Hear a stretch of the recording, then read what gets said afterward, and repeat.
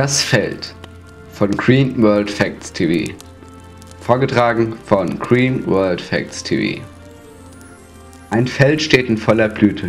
Unsere schwarz-gelben Helferchen besitzen die Güte und bestäuben für uns die Pflanzen, über den Feldern die Insekten in dieser Zeit nun tanzen. Doch dem Menschen ist all das zu viel. Möglichst viel Profit ist das Ziel. Und weil Schädlinge da stören, wird alles Leben vernichtet, das kann ich euch schwören. Pestizide und Insektizide halten ein, was sie versprechen, doch die Natur wird sich schon bald an uns rächen. Die Bienenpopulation ist erheblich zurückgegangen. Landwirte müssen schon bald um ihre Ernte bangen. Schädlinge sind des Bauers Qual, er denkt, er habe keine andere Wahl, als diese zu vernichten und nebenbei auch Helfer hinzurichten. Gifte können zwischen Schädlingen und Nützlingen nicht unterscheiden. Bauern sollten diese deshalb meiden. Das Summen verstummt schon bald im Feld. Dunkler wird ab sofort die Welt.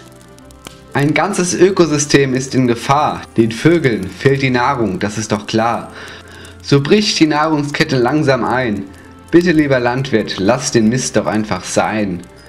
Wir wollen jetzt etwas erreichen, dann dürfen Wildblumen nicht weichen. Lieber Landwirt, lass den Mist von deinem Feld, ich schwöre dir, dann bist du mein Held.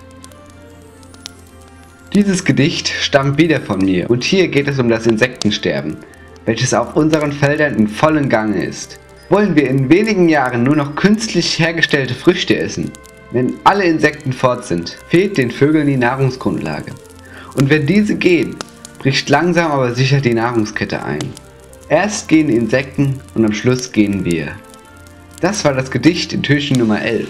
Ich darf auch hier wieder daran erinnern, dass ihr gerne auch ein Gedicht abgeben könnt, welches ich dann hier vielleicht vorstelle. Also haut es in die Kommentare. Wir sehen uns morgen wieder. Ich freue mich auf euch. Bis morgen.